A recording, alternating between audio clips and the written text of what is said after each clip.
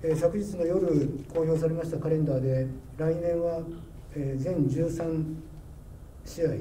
えーと、と愛知県、えー、日本があの最初になりました。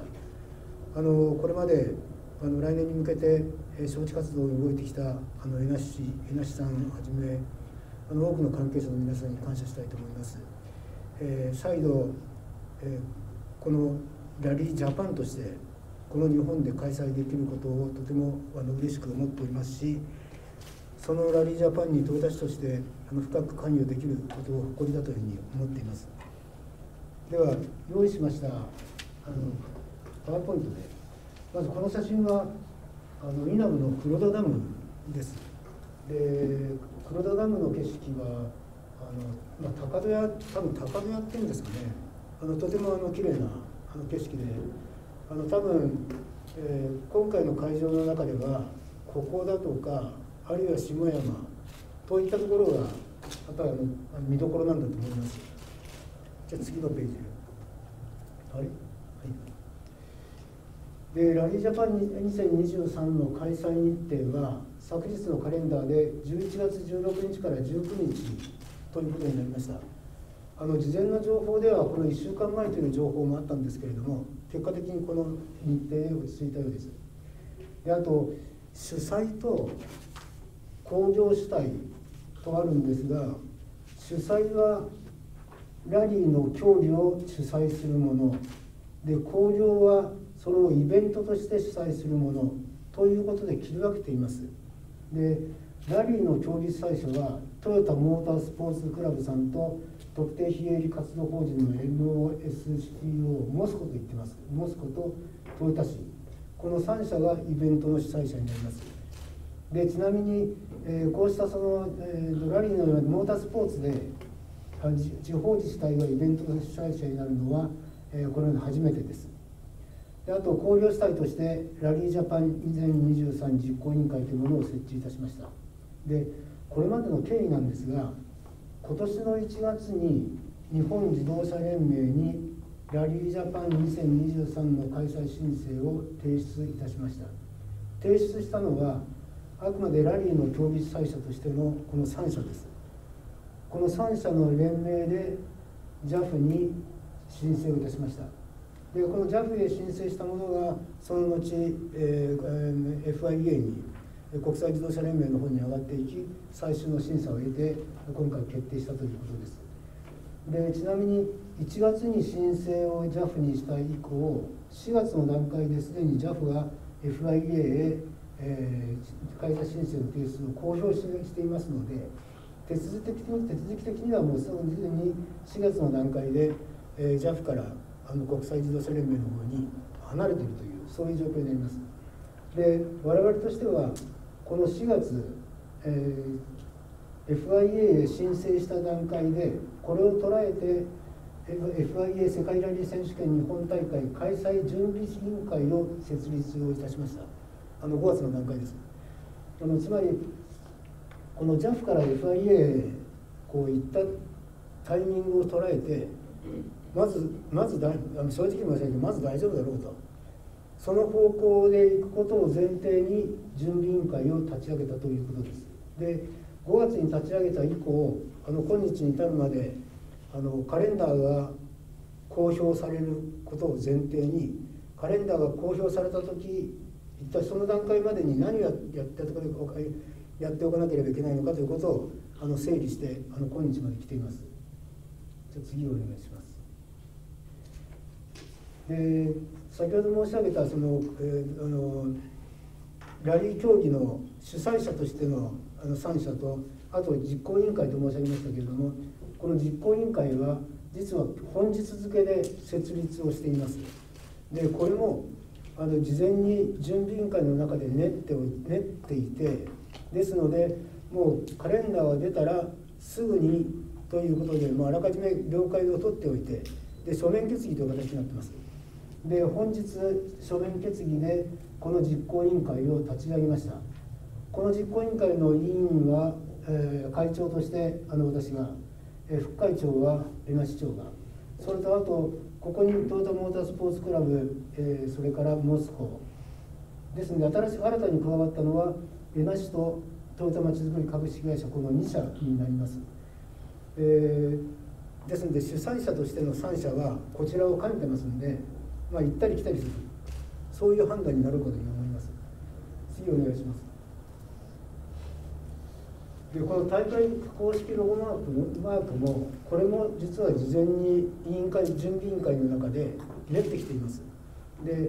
練ってきた結果このこのシンボルマークでいこうというふうにあらかじめ、えー、準備委員会の中で確認を取っていますので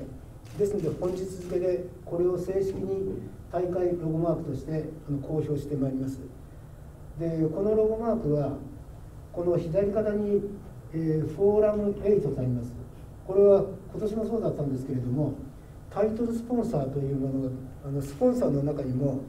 あのこのラリーの大会のこうタイトルにこう掲示されるメインのスポンサーをタイトルスポンサーと言ってます。そのタイトルスポンサーを株式会社フォーラム8さんが引き続き担われるということが事前に調整がされていますのでここにあのフォーラム8が来ます。であとこ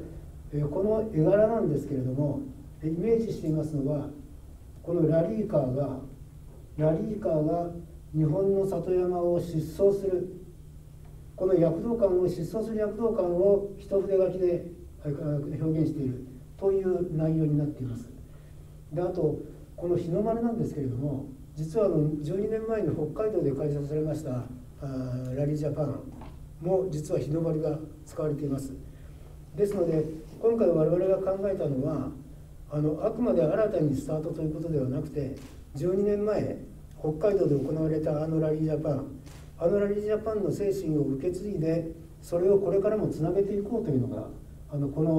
ロゴマークに込めたあの考え考えになります。それであの何ていうんですかねその、まあ、主催者の一員としてトヨタ市がなっていてでもっぱらとのトヨタモータースポーツクラブさんとそのモスコさんはあの競技の中身そのものにあの関わら関わる2社ですのでそちらの方にもちろん専念していただくんですけれどもトヨタ市としてはやはり今回のそのラリージャパンのあの大会のに込めるその思いのようなものはトヨタ市側とトヨタ市としてやっぱりきちんと整理しなければいけないと思っています。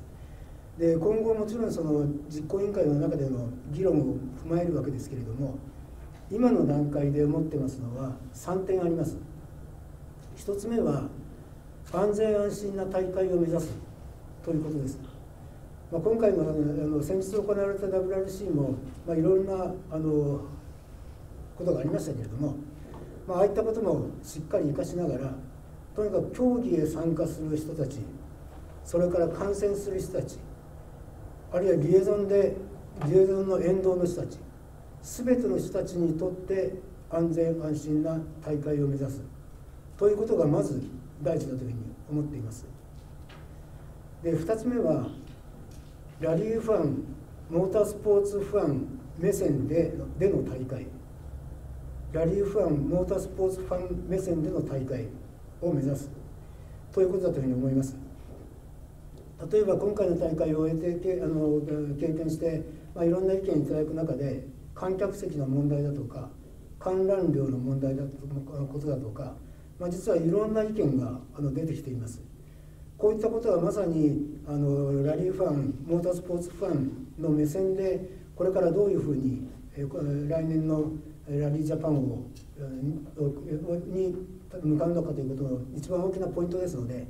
それが2点目のあの重要なポイントだと思います。3点目は未来へつなぐラリー大会ということです。で今回の大会の中でサステナブルフォーラムというフォーラムをあの企画をいたしました。あの車自体のサステナブルあるいは燃料のサステナブル大会運営のサステナブル。いろんな意味でサステナブルはキーワードだということで、まあ、サステナブルフォーラムをあの今回企画をしてやってみたんですがやっぱりああいうような取り組みを通して次の時代の未来へつなぐラリーを目指したいというふうに思っています。例えば今回のサステナブルで言えば環境ということがテーマでテーマになると思いますし